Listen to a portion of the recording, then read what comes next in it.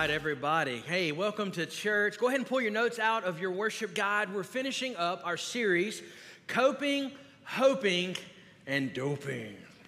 It's been a fun series, right? Uh, it's been, I, I, do believe this, it's been a healthy series for, for many of us.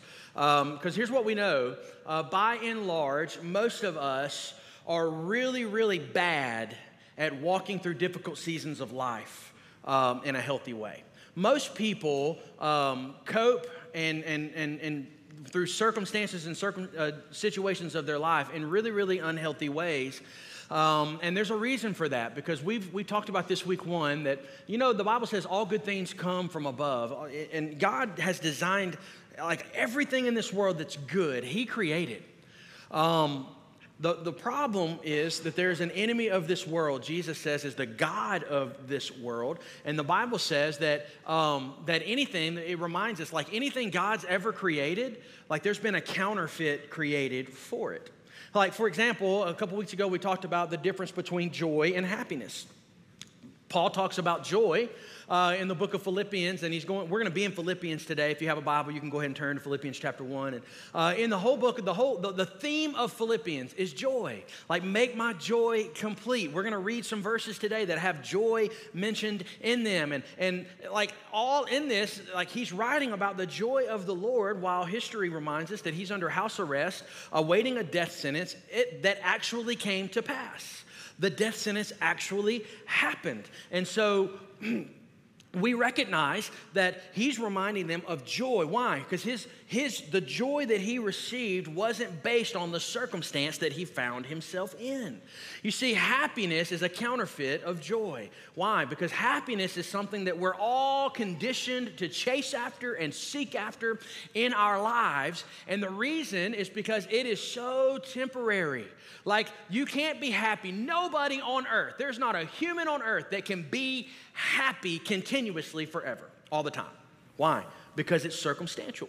It's why they say that um, the average millennial, or even now the average Gen Z, they say by the time they graduate, I mean, by the time they're ready, to graduate, by the time they're ready to retire, they will have worked at over 50 different uh, organizations and had 50 different jobs over their lifespan. Why? Because they're conditioned. We are taught and conditioned that if it doesn't make you happy, just do something else. Just find something else. And so we go from job to job and from relationship to relationship. And like, they're not making me happy anymore. They're not always gonna make you happy, right? Like, um, uh, uh, thing to thing, stuff to stuff, car to car. Why? Because I'm all happy until I'm not. Everybody was happy with the new job until you realized you had to work with that one person who makes life miserable and you don't want to look at them when you walk in the office anymore. You were happy about it. You loved the new car until your spouse or kid put a scratch on it. You know what I mean? Or until you, you walked outside of Walmart one day and somebody didn't put their buggy up and it smashed into the side of your car. You were happy until now it's worthless, it's useless, right? Uh, you loved the new iPhone until the new one come out. and it's the same one as the last one. Like we all know that, but it's not the same, right? They have USB-C now. I'll leave that there. Listen, I got iPhone. I'm still. Are you kidding me? That's what you're gonna give us, right? It's not making me happy. like it's conditional. Here's the truth.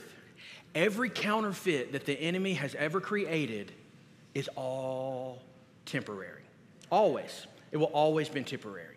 And so today I want to remind you, I want to share with you, um, uh, uh, remind us of like what Jesus said in John chapter 14, verse 27. He said, Peace is what I live with you. It's right there in your notes, our theme verse. It's my own peace that I give you. I don't give it to you as the world does. You want to underline that.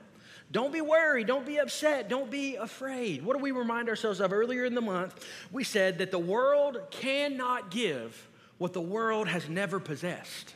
Like the world can't give you joy, the world can't give you peace. Everything that we would seek and need uh, uh, for a life of joy and contentment in this world, it comes from God alone. And so week one, we talked about that. It's gonna be, it's gonna require something bigger than a band-aid. Like we believe that we would say that anything the world offers is, is uh, it's no, not much greater than a band-aid. Um, you ever tried to put a band-aid on a gaping wound? Like it's kind of dumb, right? It just doesn't work. Um, well, we've talked about what that looks like in week one, that like, like getting committed to the, to the things of God in your life. Week two, we said it's gonna, like, we gave you a first aid kit that the scriptures actually do give us kind of step by step how to walk through difficult seasons in our life. We saw that Paul gave us some good instructions. And then last week, we talked about how I just don't grasp, I can't fully understand how people can walk through this life as followers of Jesus without the help and the empowerment of the Holy Spirit in their life. How is that a reality? It's just not. Uh, it's like like the power of the Holy Spirit we talked about last week. It's you know the Holy Spirit's practical. He's not weird. He's a comforter. I give you peace. I'm gonna. And what Jesus said in John 14, I'm gonna go. When I ask the Father, He's gonna send you a comforter. He's gonna lead you into all truth. The power of the Holy Spirit is a need in all of our lives. The title of last week's message was "When Only a Doctor Will Do." And so today we're going to kind of wrap everything up with some priorities. I titled today's message Triage. Triage. Now, some of you like probably know what that means. When I was a kid, I had no clue what triage meant. I only saw it in like major circumstances. Like you only saw it in the emergency room or you only saw it in like emergency situations. So I immediately was a kid, I always thought, that means somebody's dying. That's what it means. Somebody's in trouble, right? Somebody, and when I was a kid, I got needle phobias, right? Uh, when I was a kid, I thought that means somebody's getting a shot. like if I saw it, somebody's getting stuck, and that was not a good thing. But triage simply, it comes from the French word uh, that means to sort and to select. Its historic roots for medical purposes go back to the day of Napoleon when they would triage large groups of wounded soldiers as necessary right? Over the centuries, systems have evolved into well defined priority processes, sometimes requiring specific, like crazy amounts of training and uh, on the setting and the organization to get it right. Now, some of us would go, like, if that's what that means, where is the training? for a lot of times, right? Anybody else ever had to go to the ER and sit for six and a half hours? right?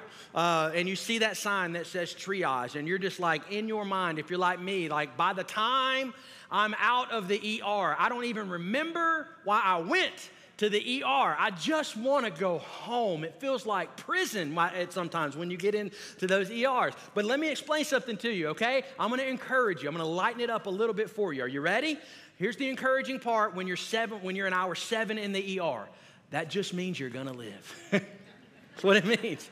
It means you're going to survive. You're not, you're not in, you're not in, di- nobody's, not, they're not having to like uh, put you on life support. You're in seven, hour number seven, because you're pretty much in good shape. Now, I know if you're like me, that don't help when you're in hour number seven. Somebody come help me, right? But today we're going to talk about what it looks like for us to set some priorities in our faith. The truth is, here's what I know I know um, that there are lots of people across both campuses, really around the world. There's lots and lots of people who are walking through and uh, very difficult seasons of life. And some of y'all uh, and some of us would say, hey man it ain't a season it's like multiple seasons i done went through four winters uh, of trouble in my life you know what i mean you're talking a season of life like it's been it keeps coming around you know what i'm saying uh, and you're like how do i begin to honor God with my life when it doesn't seem that there's light at the end of the tunnel? How do I begin to how do I begin to find the joy and walk in the joy of the Lord when there just doesn't ever seem to be any joy? Has anybody ever been there? Well, today I want to walk you through um, uh, some passages of scripture in the book of Philippians, and I'll just give you some historical context real quick. Paul, again, he's sitting under house arrest. Uh, the Bible says that he wrote this uh, book roughly about two years before he was beheaded for his faith. Okay? Get this. He, he went to prison for his faith under house arrest and never got out. There was no light at the end of his tunnel, if, if, if we're talking those terms it was not going to get better for him. Yet we see, we see that he writes in this book literally an entire book dedicated to the joy of the Lord. Some powerful passages of scripture come out of Philippians, right? I can do all things. I, I can do all things because of what? Christ who gives me strength, right? We like powerful passages of Scripture. He who began a good work in you is faithful to complete it until the day of Christ Jesus' return. Like we can quote some really powerful passages of Scripture uh, in the book of Philippians, and it has nothing to do with his circumstance because his circumstance was pretty, pretty bleak. It didn't look good. But I can tell you that um, because of his ability to see from a different perspective, not only did it, did it make a difference in his life where he was at through his circumstance, but y'all, it changed the lives of millions of people. We're here today because of somebody, because of Paul doing what he did, committing his faith to Jesus and changing the world, planting churches all over. Uh, like it all begins with a shift in my perspective. So I'm going to pray and I'm going to share with you three things out of, uh, out of Philippians chapter 1 that I think Paul did in a triage moment. What am I going to do? Like, I, I have some decisions to make. This is kind of crazy. Like, let's take a survey. Who is good in the room, real quick? Who is good at um, making decisions on your feet? Raise your hand, raise your hand. Quick, quick, quick decisions. I can just, you know, make a decision. Who's going to take 75 days to make a decision? Y'all all frustrate people like me. Because y'all, I'll make a decision and worry about it later. I will jump out of a plane and worry about the parachute. You know what I mean? Somebody, you know why? Because it's y'all people who take 75 days to make a decision. When I jump, y'all are jumping with the parachute to come get me. You know what I mean? Like I have discovered if I'll just make a decision, they'll figure it out along the way. Uh, and so Paul was a guy like like he like he could triage quickly. Some of y'all, some of us, like we're, we've been triaging for 12 years. Some of y'all have been like, well, I think I could do this and I think I could do that, but man, this looks really good here. And what about this over here? And the truth is, you could spend your whole life trying to sort and plan and work around and try to find things. And when you could, honestly, you could go to God's word and go, okay, what did they do? Let's work out that way, okay? So, Father, we love you. Thank you for your word. I pray in the name of Jesus that you speak to us today. This isn't just another Sunday. Help us not to walk out of this place just marking something off a checklist. But Holy Spirit, I pray that you speak into every individual heart right where they are in their season of life. And God, we walk out of here challenged and equipped to live our life on purpose in a way that honors you for every good work you're calling us to. In Jesus' name, Amen. All right, number one, if you're taking notes, write this down. Whenever things get hard, the first priority I need to set is this I need to think of others. I need to think of others. I love it in Philippians 1 3 through 6. That's what he did. Remind, remind, remember, under house arrest, waiting a death sentence that eventually came, all the things that could have been on his mind. He said, Every time I think of you, I give thanks to my God. Whenever I pray, I make my request for all of you with joy. For you've been my partners in spreading the good news about Christ in the time from the time that you first heard it until now. And I love this. He's so encouraging. And I'm certain that God, who began the good work within you, will continue the work until it is finally finished on the day when Christ Jesus returns. Like he's thinking of others, encouraging others outside of his circumstance, outside of his self. Y'all know the uh, when you when you read the book of Philippians, you'll notice like there was very it was a very snippet that he actually even mentioned his own circumstance. A prisoner of a prisoner because of my I'm in chains because of my faith. Like that was pretty much it, right? Uh, no different than hey, I'm writing to you from Philadelphia. I mean, like he just kind of just said, "Here I am." Like I'm, like I'm in, I'm in prison. I'm writing this letter. Let's get now. Let's talk about you. I think about you all the time. I just want to encourage you. Like he was in prison for his faith. He had been wrong. He had been cheated. It wasn't fair, and he was thinking about others. Here's a good question I want you to ponder on uh, while we talk today: Is in what ways are you adding value to people around you? In what ways are you thinking of others in your life? That's a good question to write down and ask. Like, eh, how am I encouraging people around me? I've learned this in my faith that if, if I allow my struggles to point me inward, I'll begin believing that life is all about me. If I allow my difficulties to point me to myself, I'll believe that it's not about everybody else, it's about me, when in fact, life's about eternity. The gospel calls us to look through our eye, look through the lens of eternity. Like to look and, the, and to, to value the people around me. Look at this passage of scripture in Philippians chapter 2. He talks about it's not in your notes. You can write this reference down. Chapter 2, verses 3 and 4. He says, Hey, y'all, don't be selfish. Don't try to impress others. Be humble, thinking of others as better than yourself. Don't look out only for the interest of yourselves, but take an interest in others too. Paul's reminding them in that moment that the single best way to resist the temptation to cope in unhealthy ways is to begin to see people through the lens of eternity. The, the single best way to begin to see hope in my story is to put hope in somebody else's story. So, what are some ways? What are some ways that you can think of others? I'll give you a couple, right? Send an encouraging text message. That's easy. That's an easy step. These are very practical steps that you can do. Pick up the phone and actually call somebody. Some of y'all about to walk out, right? Huh? somebody just said, in their mind, somebody said, absolutely not. Pick up the phone, write a letter in the mail. Somebody said, What is that? What's a stamp? Write a letter. A random act of kindness. Buy somebody's coffee this week. Buy somebody's lunch this week. Can I give you a, a very practical tip that I have learned to live by? And um, it don't happen, but if you think something good, say it. At any moment, at any time, anyway.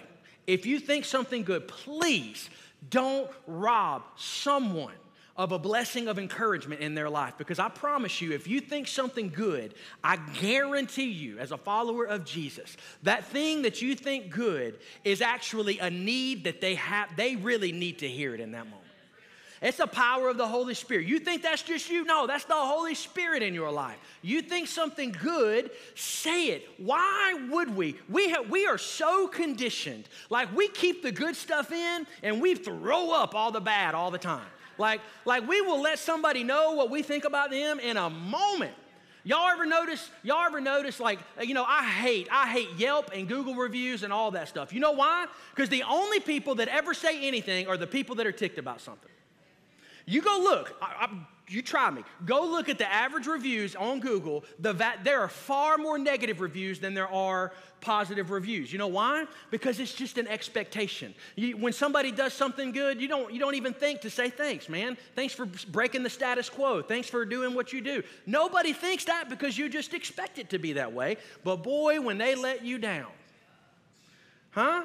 Man, the negative reviews just flow over and over and over. If you think something good, y'all encourage somebody this week. It'll make a difference in your life and in theirs. I love this quote by Mother Teresa Love is a one way street, it always moves away from self in the direction of others.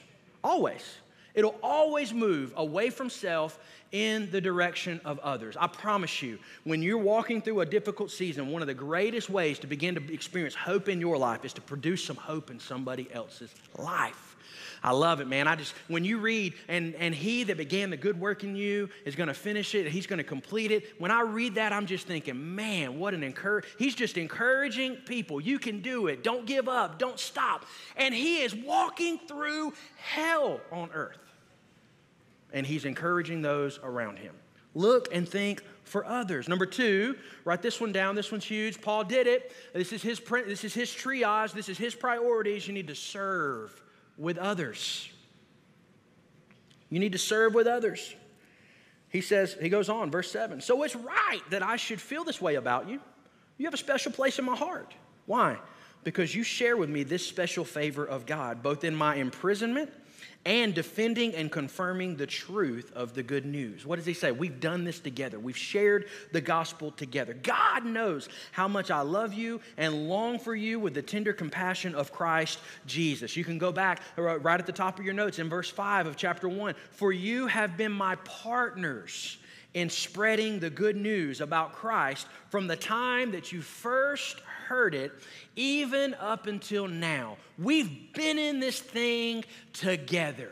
Nobody's doing it alone. We've served Jesus together. Here at Cultivate, you, if you've been here any length of time, you'll know that we place a high priority on serving others. We place a high priority on serving people around us, serving on a team. Why? Because it is the core of our discipleship model. Like our discipleship model is not to not to teach you a gazillion verses between now and the time you die and you go to heaven knowing all the verses in the Bible. That's not our discipleship model. Our discipleship model was Paul's discipleship model. Follow me as I follow Christ. Check out what you've seen done in me and duplicate that. Like there like there's no better way to grow in your faith than to find somebody who's a little further ahead of you in their faith and just watch how they live their life. Man, how do they how do they get through that difficult circumstance? Man, how did they walk through that problem in their marriage? How did they overcome? Man, they're married 50 years. How in the world did they make it 50 years? Like learn from others. And we think there's no better way to do that than to, like, an on ramp of figuring that out is to serve with other people, this relational discipleship model. Like, a life not lived for others, y'all, that's not a life. It's just not. Uh, you'll never, you'll never convince me if you show, you show me people that are living their life spent, like Paul said, a drink offering for the Father and for the Lord and for the gospel, living their life for the cause of others, versus somebody who's living a selfish life, there is zero comparison in the joy that people experience in those two different scenarios. Like, you can't live a selfish life and find that there's hope in your tomorrow. Like, he calls us to serve others. That's why we encourage people so much to serve around here. You can do that easily. Cultivatechurch.tv slash roots. You can go online this afternoon when you get home and shed all the clothes in your underwear. You can learn everything there is to know about the church, everything there is to know about serving. You can even join a team right there and be serving next week on a Sunday. It is that there is not an easier place on earth than to begin to serve the kingdom than here at Cultivate Church. There's no easier way because we place a high value on it. And let me tell you why. It is not because we're any of us are needed. Y'all, God don't need me. Y'all know that. You go, well, what's going to happen if you're not here next week? Somebody else is going to be doing it.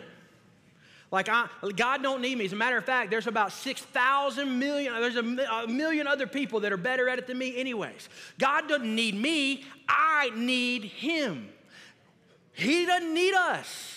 Like, you know, the Bible, one of my favorite passages of scripture is, uh, is in the book of Esther. He talks about Esther and he says, what, what if you were here for such a time as this? And she goes, yeah, but I don't know. He goes, well, if you don't do it, God's to bring somebody else. It's not about it's not about you. It's not about Him needing you. It's an opportunity, right? God's given us an opportunity to partner in kingdom growth. And it grows our faith. It opens our perspective. When we serve those around us, all of the sudden, the things that I'm walking through seem a little bit lighter. They just do. I read a story from Simon Sinek this week. He's an incredible author, by the way. If you've never read any of his books, I would encourage you to read uh, some of his books. Incredible leadership guy. And uh, he was doing an interview, and he taught. He mentioned in this interview how Navy SEALs, the vast majority of Navy SEALs, never make it past training. And I, he, they began to do some research on what that looks like. They said that, that, uh, that he mentioned that only 10% of Navy SEALs actually make it through the initial training phase. And he goes on to say that they began to do research on how that is happening and who is it that actually makes it through and what is different in them than anybody else. Because 10% is an alarmingly low rate, right? For the for, for the pinnacle of the military uh, in the United States. And he says, he said, it's not the big muscle bound guys. They look impressive, but they couldn't make it. They didn't have what it took. He said it's not the tattooed tough guys. They looked scary, but they didn't have what it took. He said it's not even the college educated stars. They looked like leaders, but at the end of the day, they didn't have what it took to complete and finish the training. He said the ones that made it through, ironically, don't even necessarily look impressive. There may be times during the training that they're, they're shivering in fear. He said, but at some point during the grueling, punishing training, when they're exhausted, when they're mentally spent, and when it doesn't look like they could take another step, in some way they mustered up enough in them to look to the left or the right and begin to help each other.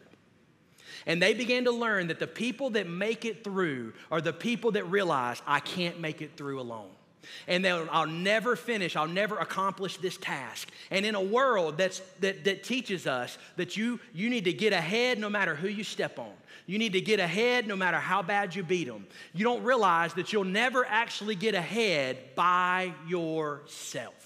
Paul recognized it. He said, We'll never accomplish this on my own. Not that I'm not that I'm even there, he goes on to say, but one thing I do is forget the past and press on toward the prize, the high call, heavenward that Christ is calling us to. And he did it with people. He brought people with him. He served with others. Can I tell you today, maybe you're walking through something and you are so tempted to pull away from community. You're so tempted to pull away from relationship. You're so tempted to just, just get off all by yourself into an isolated circumstance. I promise you that is a deception of the enemy and you will be sorry because you weren't designed to do life alone.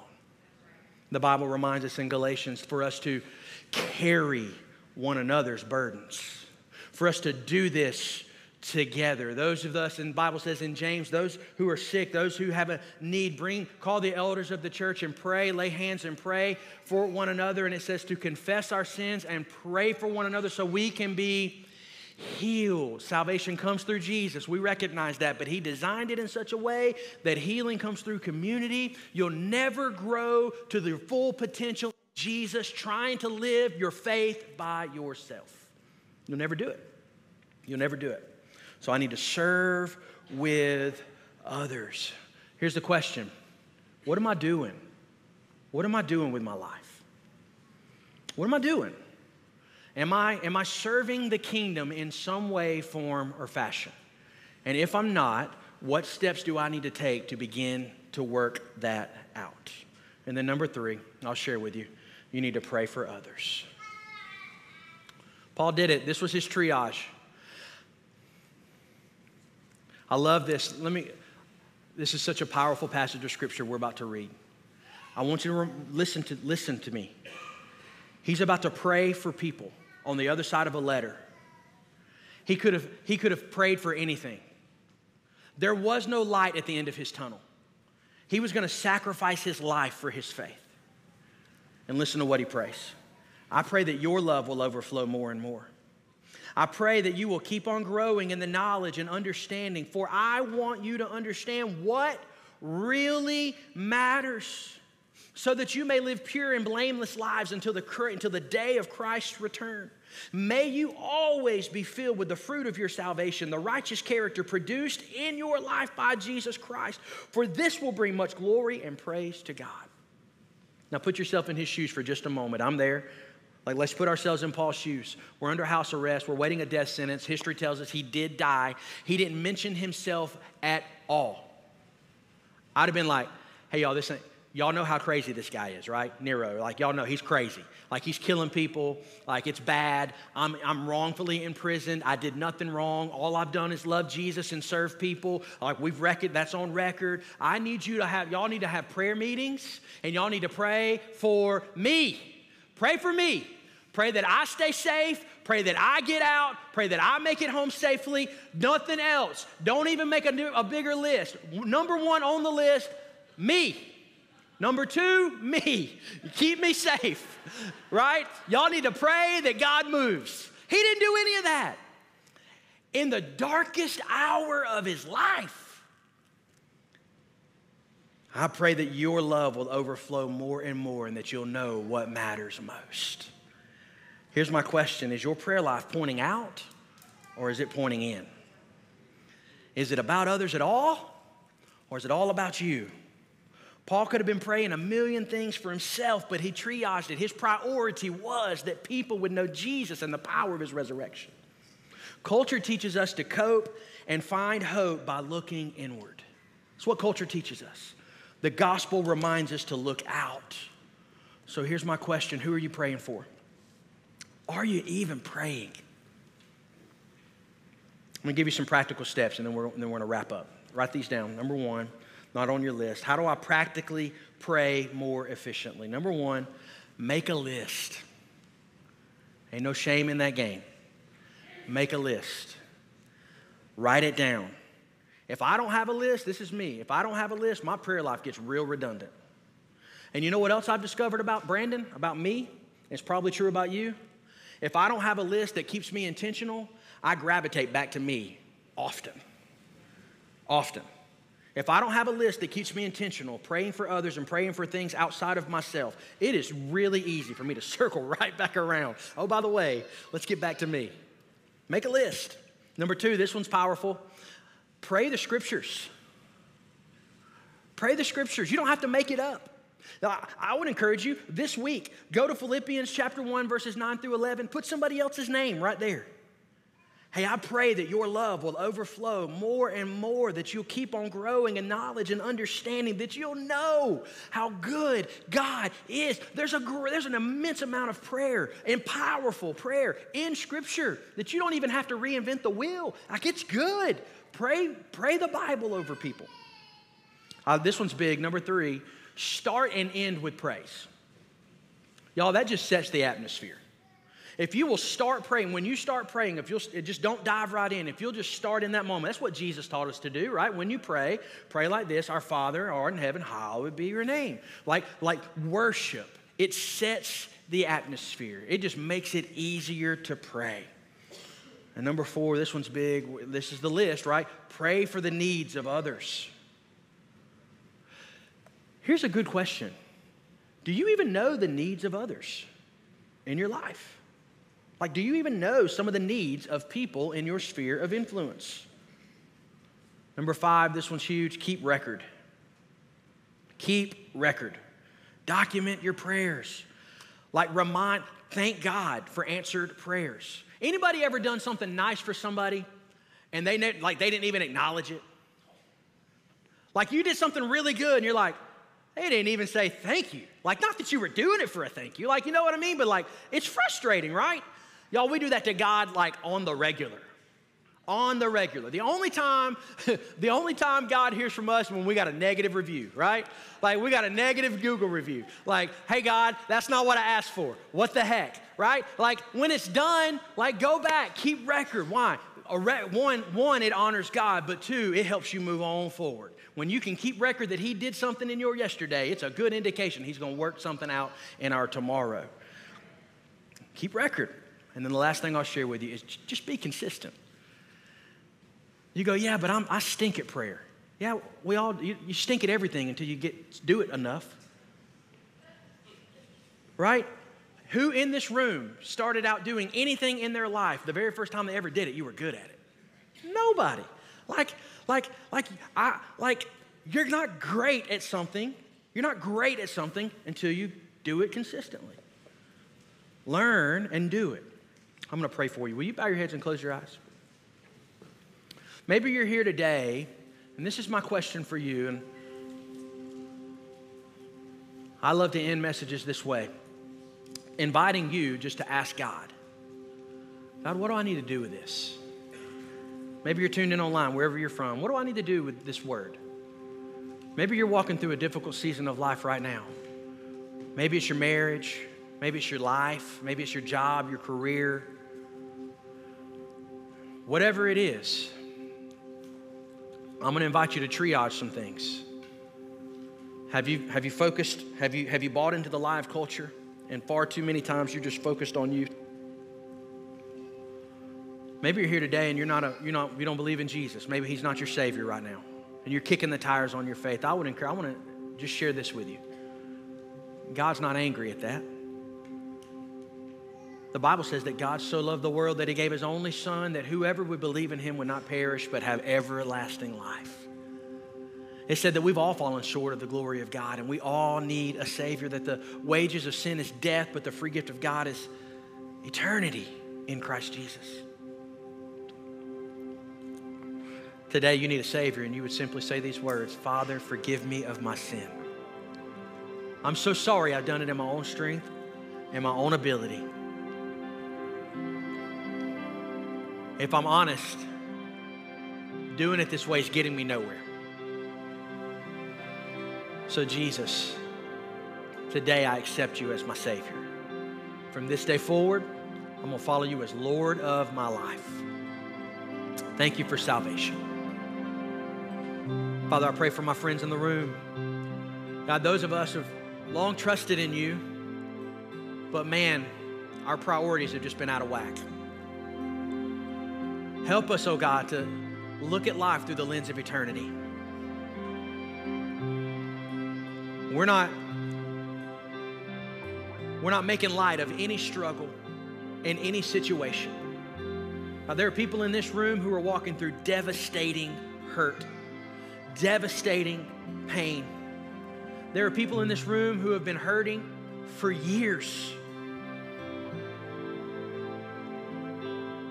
And God, I pray in the name of Jesus that we would be reminded that our joy in you and our hope for tomorrow is not in this present circumstance. So, come hell or high water, my joy comes from Jesus. In the name of Jesus, I pray right now that you begin to just in, in, insert peace into hearts and minds right now. God, that we would be reminded yet again that it is not circumstantial. But in the name of Jesus, the power of the Holy Spirit, God, you're going to guide us, you're going to direct us, and you're going to get all the glory. And we are confident in this that He that began a good work in you is faithful to complete it until the day of Christ Jesus' return. That's a true statement. And so, Father, I pray we walk out of here, God, knowing the reality and the weight of that statement.